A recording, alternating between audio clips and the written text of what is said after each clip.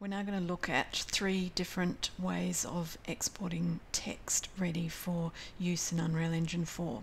Firstly, I've just got a simple file here with a text layer and it has a transparent background. So although there is a background in the file, that layer is turned off and I'm going to go File, Save for Web and save it as a ping 24 and make sure that I have my transparency box checked. And this is going to bring in the image with its transparency complete within Unreal Engine 4 so I'm going to click save and save that within my exercise files folder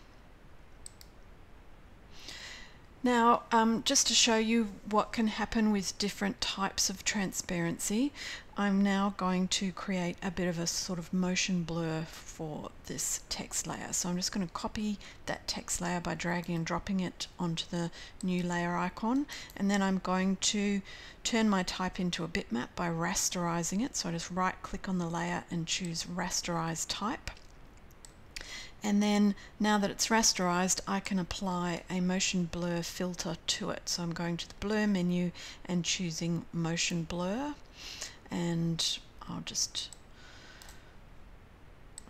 reduce that distance slightly and maybe make it go a little bit above my text and click OK. So now I've got an image that has lots of different types of transparency in it, just to show you what happens to that when we bring it into Unreal Engine 4.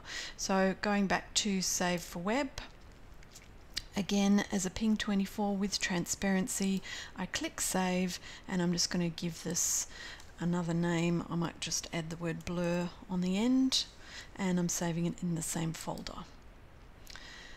Okay, the next kind of text that we're going to export from Photoshop, just to show you a different kind of look, is a composition I've created here that's got some text, but it's kind of a hand-drawn looking font with lots of transparency within it. And then I've just created these two ink blots to go behind that. So again, I'm just going Save for Web, saving it as a Ping24 in my folder.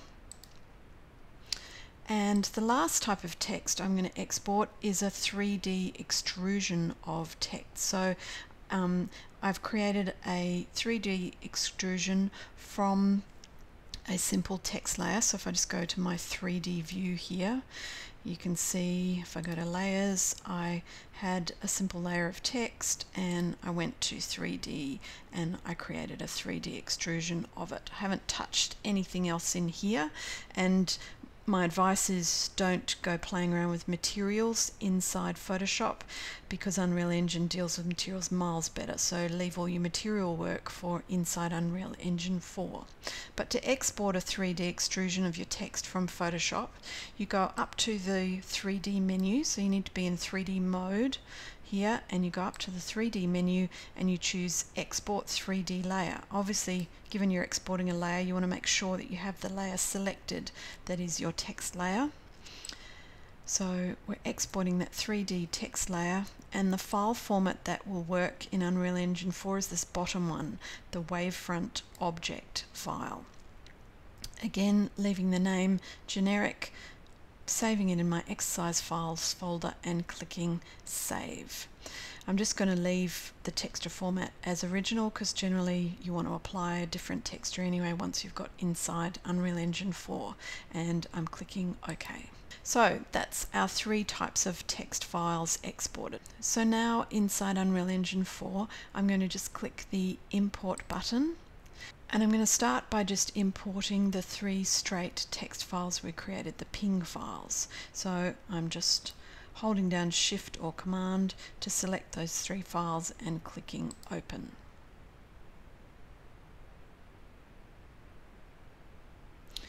Okay, so the three files come in. They might look a little bit scary when they first come in, but don't worry. Um, we're going to turn them into paper 2D sprites and they'll look fine once we've done that. So I'll save them again and then we'll start with the first text one and we're going to right click on it and create a sprite. So right click, go to Sprite Actions and choose Create Sprite. Just accept the default name by hitting return and you can now see it doesn't look anywhere near as scary as it looked before. I'm going to do the same thing with each of my ping files that I just imported.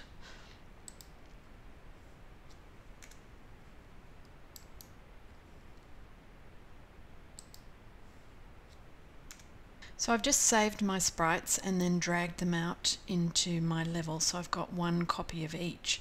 And you can see that the first one that we exported looks perfectly fine just how we've brought it in. The second one, however, the one that had the blurry motion blur behind it looks a little bit odd. Um, the third one looks okay, but possibly could look a bit better. So let's fix the blur on the middle one.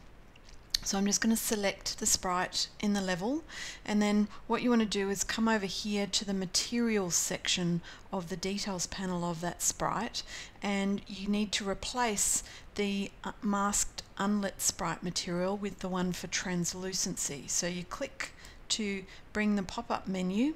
And if you do a search for it's called translucent unlit sprite if you do a search for it you'll see you get nothing showing up.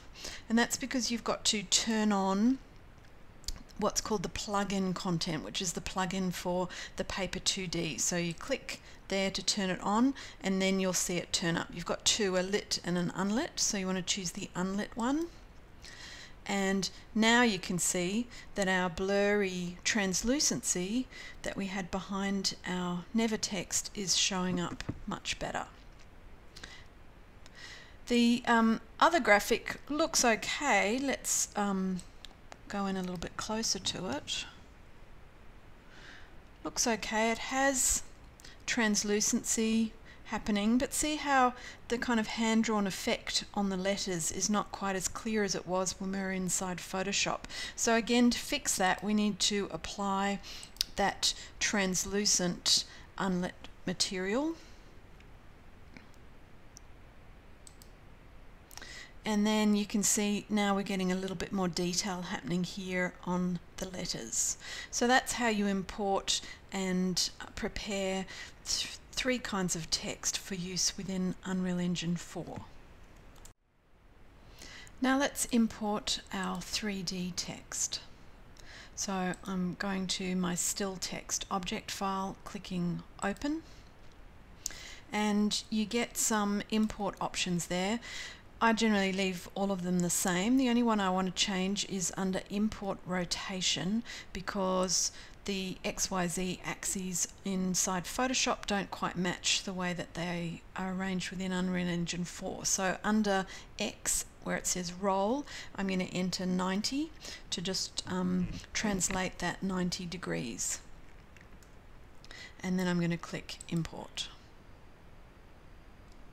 So you can see that the text comes in as a static mesh and with a material there to go with it. I'm just going to save those and drag my static mesh out onto the screen. And you can see it comes in with the material that you used in Photoshop um, is a nice 3D shape that you can walk around and has that particular material applied. So you could go in and edit that material or you could apply some other kind of material to it.